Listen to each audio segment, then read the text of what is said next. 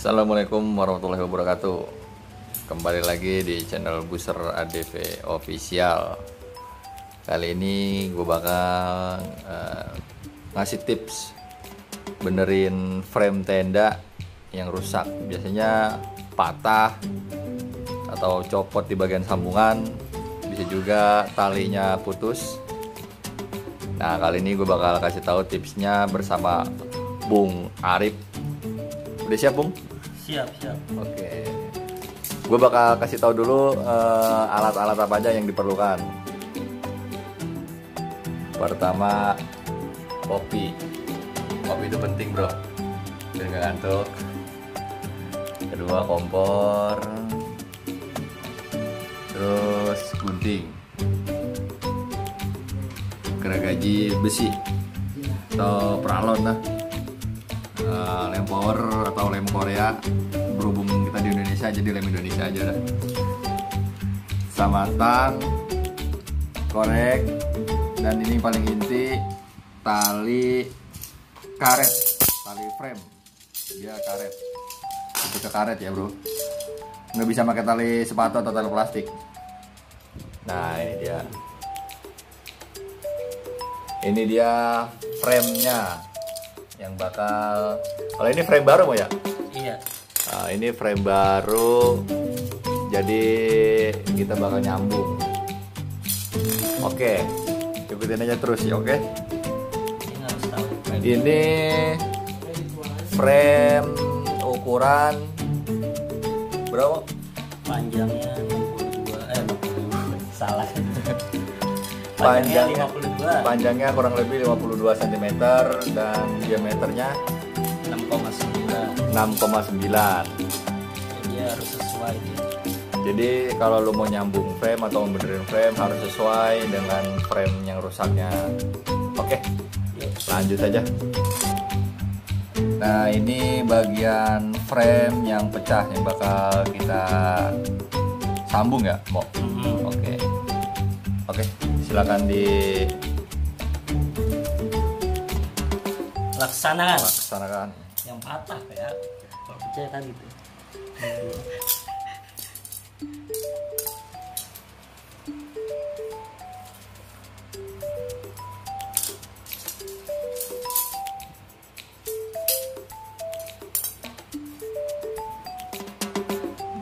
Nah ini frame yang patahnya nih.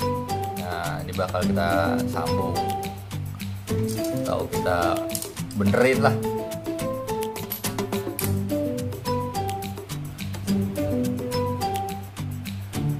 Ini ya tingginya nggak sama, apa-apa. Yang penting ukuran diameternya sama.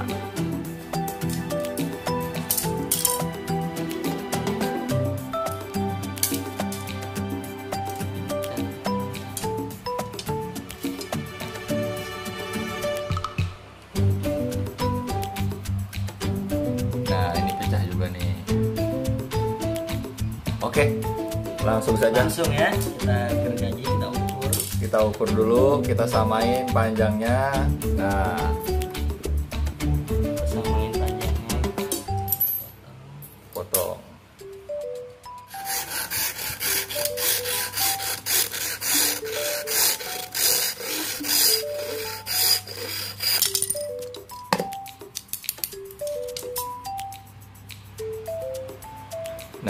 setelah dipotong kita masukin ini namanya apa sambungannya? Sok, semacam sok, sok frame atau list list besi.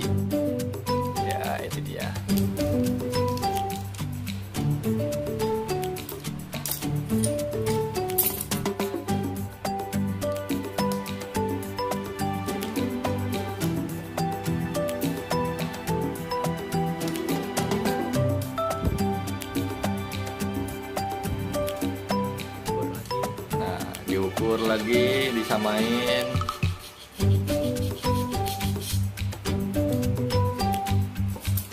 Potong kembali bagian yang sudah ditandain.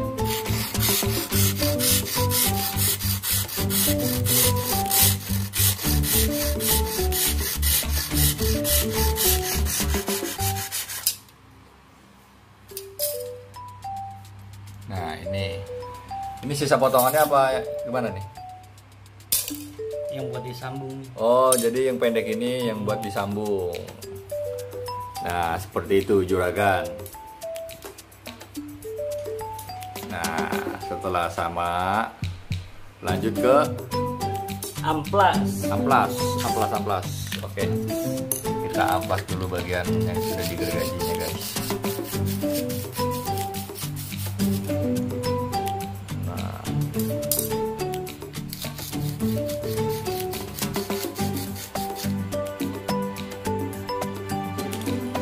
setelah itu dilem. dilem. Dikasih lem power. Oke.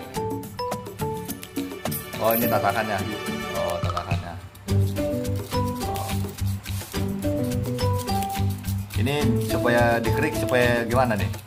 Supaya nempel apa gimana?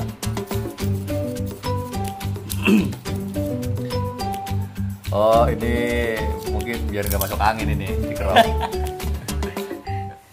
Kagak ini apa buat dibersihin bekas lem yang lamanya. Oh gitu. Keren gue masuk angin dikerokin. Hei. Oke sekarang kita kasih lem power.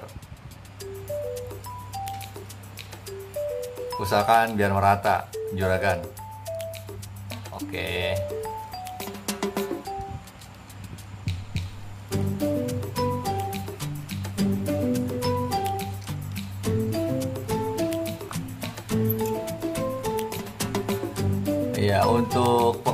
Pengeleman usahakan di bagian yang mau disambung saja, juragan. Nah, contohnya ini nih, buat masuk sok itu disambung, dilem. Nah, nah, sep.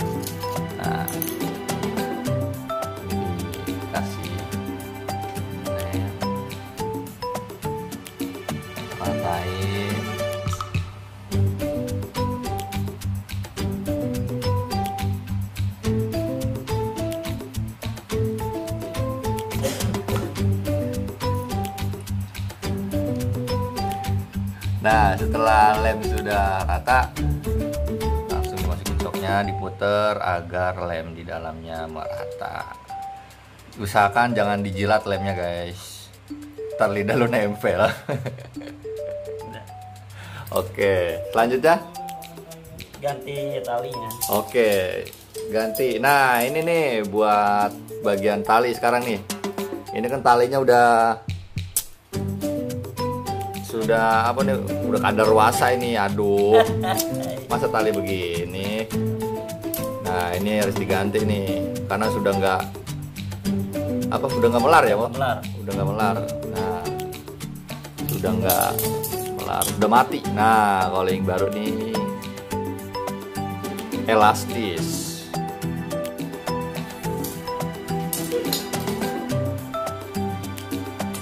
Ini mau ngomong-ngomong, gue ngopi dulu ya. Ngopi dulu. Ngopi dulu. Ngopi dulu, ngopi dulu, ngopi dulu. Wandi, wandi. Wandi, Wandi, Wandi. Siapa itu yang disebut ngomong-ngomong, Pak? Ya, ini mah intermezzo, guys. Ya, ini kita tarik talinya, tali lamanya dikeluarin. Bang, kok tali lamanya dikeluarin? Ntar masukinnya gimana? Ya gampang bro, masukin mah. Masa tuh mau masukin gak bisa, juragan? Aduh. Digedein dulu lubangnya, ya kan? Dibuka tuh yang nyumpel, dipasukin. Beuh. Pokoknya mah gampang masukin mah. Mual gagal juragan. Nah, dikorek-korek, dikeluarin. Ini tarik pelan-pelan tarik ke bang. Nah, pelan-pelan. Oke, siap. Selanjutnya bagaimana nih? Ada yang copot. Oh, ada yang copot. Oh, ini ada yang copot. Harus dikerik dulu biar anginnya keluar. Baru dikasih lem.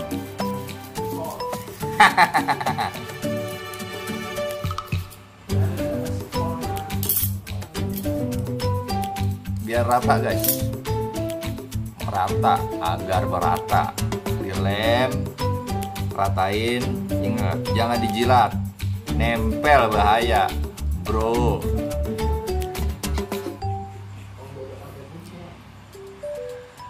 Nah ini salah satu tips menyambung frame atau ya menyambung frame yang ujungnya pecah.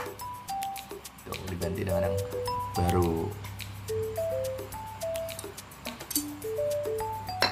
Kita diamkan kira-kira berapa menit pak? 5 menit. Oh, kita diamkan selama 5 menit. Ketika sudah matang, boleh dimakan coba. Boleh. Oh, boleh dimakan. Empuk ternyata, bro. ya, kita diamkan selama kurang lebih 5 menit. Sampai lem itu kering, nanti baru kita masukin tali karetnya. Oke. Udah siap, Bung? Udah kering ya?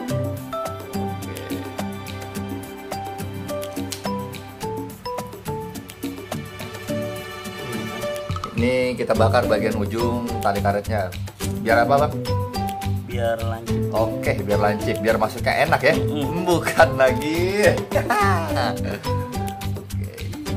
Pegang-pegang dikit, pencet-pencet. Nah, anget bang. Oh, panas. Nah, masukin. Hmm. Dorong, dorong pelan-pelan ya, juragan. Jangan kasar-kasar. Dorongnya pelan-pelan. Kesian soalnya ini baru. Nah, udah keluar tarik. Nah, ini ukurannya panjangnya sama sama frame-nya apa beda, Bang? Kalau buat tali. Sama aja. Enggak, maksudnya kan eh, apa di agak dipendekin gitu? Apa di panjangnya sama? Elastis. Oh, gitu. Kira-kira ada ukuran tertentunya nggak Bang nih, Bang? Buat panjang tali. Oh, nggak ada. Oh, berarti kita ngikutin ukuran frame. Sekiranya frame itu bisa ditarik, ditekuk, itu Betul. oke bang ya? Oke. itu Woi, betul. oke betul pokoknya. Nah, jadi usahakan tali frame ini panjangnya jangan ngelewatin panjang dari frame ya bro. Nah, Nanti nggak bisa di nggak bisa di apa namanya kok begini? nggak bisa ditekuk. Nggak bisa ditekuk atau disusun gitu. Nanti ketika lu mau nyusun frame-nya nggak bakal bisa. Jadi kelepas terus dari sambungan shocknya. Nah, makanya tali frame itu jangan sampai melebihi panjang dari frame tersebut. Panjang total ya ketika sudah disusun.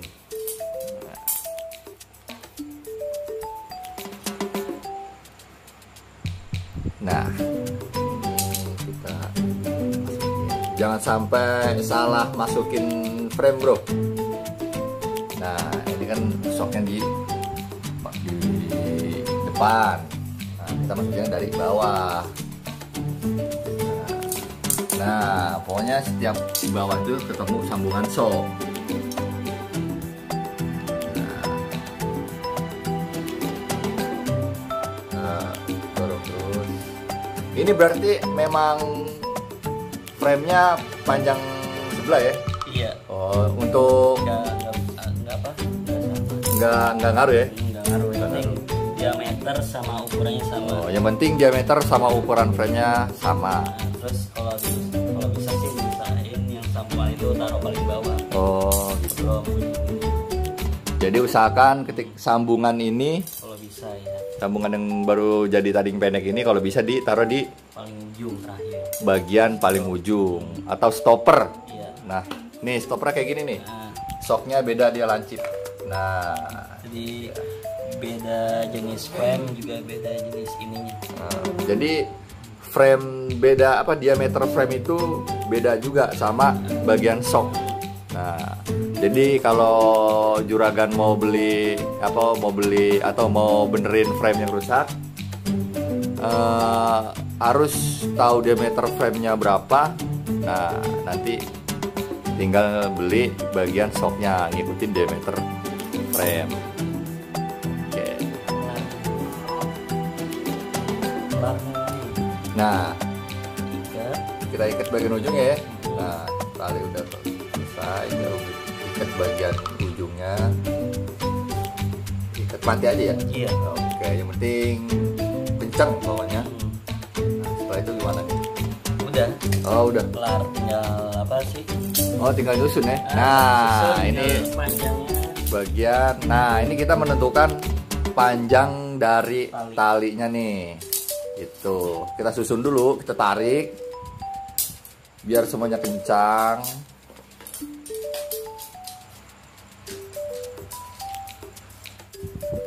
Setelah semua frame terpasang gimana bang?